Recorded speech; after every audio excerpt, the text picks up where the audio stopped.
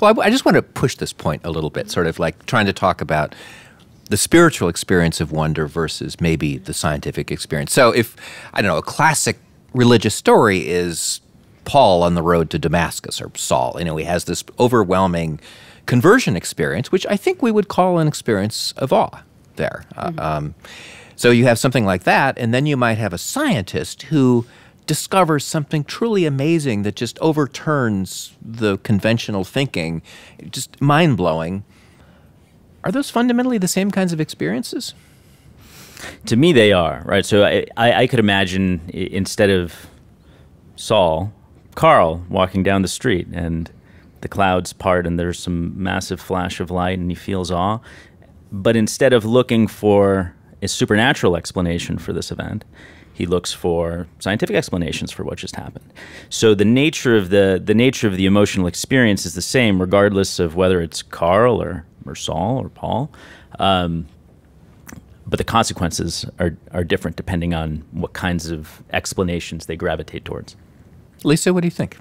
I think it gets very complicated because of how we use these terms, religion and science and spiritual. Um, I mean, it's certainly the case that, that people like Richard Dawkins or E.O. Wilson are um, experiencing something that I would call religious. And, and actually, Wilson is much more open to that. Dawkins really chafes at the idea that, you know, that that's, that, that the way that he speaks about science or wonder really is religion. Explain what you, why, why, do you, why are you saying that their experiences are actually religious?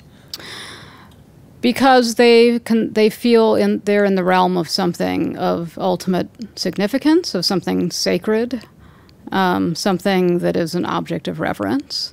Um, those are features of religion. So there are all kinds of um, religious affects and uh, rituals and things like this that occur in the seemingly secular world.